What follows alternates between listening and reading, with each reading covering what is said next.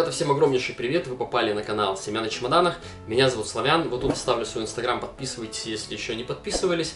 Конечно, подписывайтесь на канал, у нас всегда интересно и всегда классно про путешествия, про путешествия с детьми и с очень маленькими. Мы, кстати, совсем скоро на днях улетаем в Турцию, это будет наш новый сезон. Турция своим ходом, едем, э, точнее летим на самолете в составе пяти человек, это я, Насенька, Артему 6 лет, Родиону 4 и самому маленькому нашему чуду всего лишь 2 месяца. Поэтому сезон будет максимально интересен, максимально заряженный. Мы очень сильно переживаем, поэтому ваша поддержка нам очень сильно нужна. Но выпуск сегодня не про Турцию, не про то, как мы поедем, а про Сочи, про наш личный любимый город, в который всегда хочется ехать, в котором всегда хочется отдыхать, в котором хочется жить. И мы прожили в этом большом городе, в большом Сочи совокупно год, жили на Красной Поляне, жили в Сириусе и также еще жили в множество мест, снимая там э, недвижимость э, на посуточно. Перед тем, как я хочу начать данный видеоролик, я хочу вас познакомить с нашим авторским гайдом, который мы написали, упаковали весь свой опыт, свои лайфхаки и готовы передать это вам по очень скромной цене всего всего лишь 490 рублей, поэтому если вы собираетесь в Сочи и хотите в Сочи пропутешествовать с легкостью, с удовольствием и налегке, то приобретайте гайд, пишите либо мне в Инстаграм, в Директ, либо Настеньке, ссылочки прямые в описании, изучайте его, друзья, и путешествуйте по Большому Сочи с удовольствием. Ну а теперь, друзья, мы вместе с вами перейдем к этому выпуску, который я очень давно хотел записать, но почему-то я все откладывал, откладывал, откладывал, хотя, скорее всего, это нужно было сделать гораздо раньше, возможно, даже перед сезоном, а возможно перед вот этими каникулами. Да ну и ладно. Я думаю, что вам это будет э, актуально в любом случае. К тому же я уверен, что есть сейчас зрители этого видеоролика, которые до сих пор не были в Сочи. И вы можете сказать по ту сторону экрана, да ты чё, как так-то? Да на самом деле огромное количество людей, которые ни разу не были в Сочи. И в этом году, когда мы там жили, мы знакомились с такими людьми, которые нам говорили, что прикиньте, мы первый раз в Сочи. Мы были за границей, но вот в Сочи первый раз. Ну, ситуация в мире так складывается, что люди в Сочи поехали. Этот видеоролик я хочу записать на ту тему, а как же добраться в Сочи, как удобней, как выгодней с точки зрения финансов и вообще как, как удобней, как на что ты времени потратишь меньше, денег сэкономишь и так далее и тому подобное. И за основой мы берем три основных и три возможных, в принципе, маршрута до Сочи. Это автомобиль, это самолет и это поезд.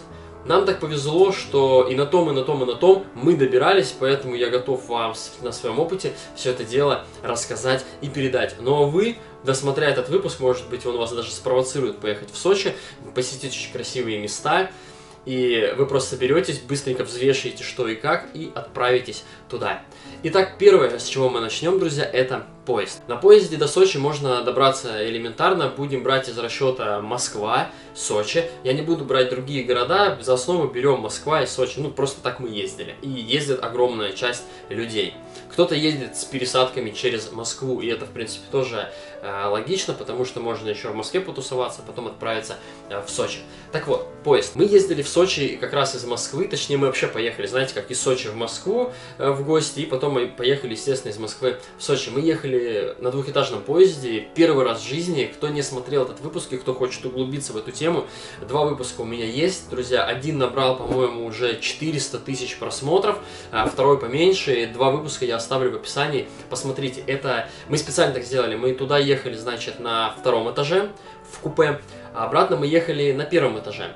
То есть это два выпуска и два сравнения. И потом я сделал еще третий ролик, он просто прям про два этажа, прям сравнение. Берем это, этот предмет и сравнивать с первым этажом. Берем эту ситуацию, сравниваем с первым этажом. Вот такие очень классные ролики для тех, кто захочет поехать на поезде. Нам, если честно, повезло, и мы отправились э, и туда, и обратно. Мы покупали билет, билеты по какой-то сумасшедшей акции, друзья, всего лишь, только вдумайтесь в эту цифру, всего лишь за 6500 билет туда и 6500 билет обратно. На нас, на четверых, нас тогда было четверо, маленький был в животике. Мы, получается, выкупали целое купе, и это очень дешево. Сейчас таких цен нет. Причем у нас в билет входили тапочки, мыльно-рыльные принадлежности, входило питание, входило белье, то есть такое, знаете, все включено всего лишь за 6500. После этого видеоролика мне, конечно, начали писать, что с такого-то числа все это отменили, и да, действительно это так. Вот, но вдруг вам тоже повезет, и вы попадете под какую-то акцию. Но на данный момент таких э, билетов, друзья, уже нету. Сейчас, друзья, в среднем э, билет на поезд обойдется в 28 434 рубля. Это если мы разговариваем про деньги, это из расчета на четверых человек. Мама, папа, два ребенка. Если вы один, то у вас там вообще другие подсчеты. Мы как бы канал семейный, поэтому будем исходить из семейного канала. И ну, если вы один, знаете, у вас гораздо все дешевле. Примерно 28 тысяч, возможно, дешевле на определенные даты. Смотрим на ноябрь, на сейчас, на ноябрь, на актуальную информацию, да? Что касается сюда еще цен. Это тысяча сюда заложено, нужно купить еды с собой в дорогу, да, чтобы покушать, так как сейчас вроде как там не кормят, а покупать еду э, там в ресторане, цены от слова ресторан, качество от слова вагончик. Поэтому берем с собой, там мешаем, завариваем и так далее и тому подобное. Есть микроволновочки, есть кипяточек, поэтому все можно приготовить и покушать, так сказать, домашний еды. Что касается по времени, так э, поезд идет 24 часа, а какой-то даже идет еще и медленнее. Поэтому, ну, в принципе, за 24 часа можно доехать. Сюда же мы закладываем час, что вам нужно будет э, проехаться до метро, до вокзала. Можно приехать прямо впритык, прямо в момент отправления, так делали мы. Почти опаздывали, что когда ехали в Москву, что из Москвы, ну, у нас так всегда как-то получается приезжаем всегда впритык. По времени, вот получается, чтобы доехать из Москвы до Сочи с учетом метро, примерно 25 часов. И, ну, плюс-минус, давайте вообще прям максимально округлим, это 20 тысяч рублей. Следующее, друзья, на чем можно очень быстро добраться до Сочи, и очень дешево, между прочим, это самолет. Я, конечно, балдею от самолета, но есть тоже свои минусы, потому что существует огромное количество людей, которые боятся летать, которые боятся взлетать, которые боятся садя, садиться, которые боятся находиться в воздухе. Поэтому самолет огромному количеству не подходит, и люди выбирают э, различный наземный транспорт. Так вот, э, что касается самолета, сейчас на ноябрь можно купить билеты на человека за 3000 рублей. То есть э, билет в один конец обойдется всего лишь, друзья, 12 тысяч. Я считаю, что это очень дешево, при условии, что в воздухе вы находитесь всего лишь 2,5 часа. Это не в Таиланд лететь 10 часов, это не в Америку лететь там двое суток. 2,5 часа из Москвы, из серой, холодной уже Москвы вы оказываетесь в классной природе, где растут пальмочки, морюшка, горы и так далее и тому подобное, и вы просто кайфуете через 2,5 часа. Но не стоит забывать, что помимо 12 тысяч в один конец, вам нужно потратить денег на метро, хрен его знает, сколько стоит метро, вам нужно потратить денег от конечной станции метро на такси, это примерно 1000-1500, зависит сколько у вас человек, но мы рассчитываем на четверых, поэтому седанчик смело подойдет. Но так как дети, нужны еще и кресла и так далее. Соответственно, по времени 2,5 часа плюс час на метро, э, еще час-полтора э, вам нужно будет э, доехать от метро до аэропорта, и нужно еще 2,5 часа закладывать на регистрацию, то есть уже у нас получается примерно 5 часов и 2 часа это уже 7 часов, округлим, окей, 8 плюс час нам нужно потратить на получение багажа, это однозначно, эта процедура, как всегда, очень-очень долгая, независимо каким даже классом ты летишь, ты все равно будешь получать багаж очень долго. Итого уже 9 часов, друзья. 9 часов вы потратите из точки А в точку Б. И казалось бы, покупайте билет, о, что там, 2,5 часа, и мы в Сочи, у Нетушки, закладывайте еще вот эти промежуточные, промежуточное время, и окажется, что как бы далеко не 2,5 часа. Но по деньгам я, конечно, вам озвучил 12 тысяч, тысяча на такси, и все, у вас там, грубо говоря, 13-14 тысяч, и вы в Сочи. Что считаю, ну, классно. Ну и третий мой хороший пункт, который лично мы очень и очень сильно любим, который, как правило, мы выбираем, это... Это, конечно же, ехать на машине. Мы очень заядлые автопутешественники, мы очень много проехали на своих машинах. Эх, последняя машина, которой мы туда-сюда прокатились неоднократно, это был Mercedes ML. Мы, кстати, недавно его продали, выпуск тоже оставлю в описании, посмотрите. Вот, э, уехал он в Карачаево-Черкесию, очень сложно было пойти на этот шаг, но нужно было, потому что, говорю, вот у нас сейчас улетаем в Турцию, и смысл оставлять тачку здесь, не вариант. Приедем, купим новый, в любом случае нам нужна ну, другая уже больше машина, как минимум 7 мест, потому что у нас э, есть уже маленькие, и в Амеличке было очень тесно. Так вот, друзья, что касается по машине. По машине ехать в одну ходку, доехать до Сочи можно, но это экстремально, и делать это с детьми я вообще не рекомендую. Мы на своей практике всегда доезжаем за один присест из Москвы до Краснодара. На это у нас уходит примерно 14 часов. В Краснодаре мы делаем остановку, спим, ночуем, и э, рано утром, там часов 8-9, мы выезжаем уже в Сочи.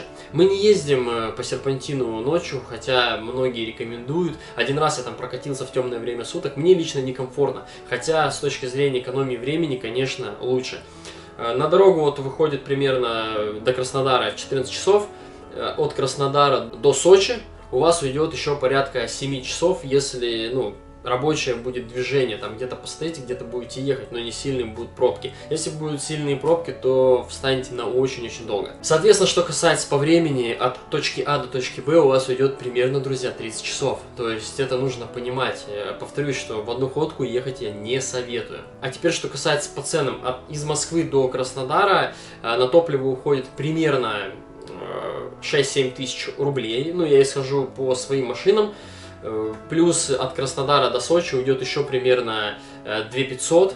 Э, вот, итого 8-9 тысяч у вас уйдет. Плюс нужно понимать, что из Москвы до Краснодара вы не будете, скорее всего, вы не будете ехать по бесплатной дороге, будете ехать по платнику, чтобы экономить время. А это еще закладываете плюс 2 500 оплатить платные участки, их там, по-моему, 11-12 штук. Далее, вам нужно, естественно, будет э, остановиться покушать. Мы лично останавливаемся один раз на плотный обед, плюс с собой еще берем еды.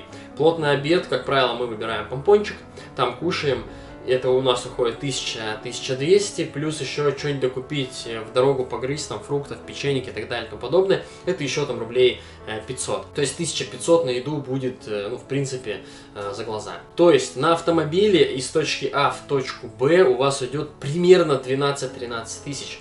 И по времени, я вам сказал, порядка 30 часов. Много-мало решайте вы, но по мне так, по мне так в машине есть очень большой, огромный плюс. Вы можете остановиться там, где вы хотите, можете остановиться тогда, когда вам удобно.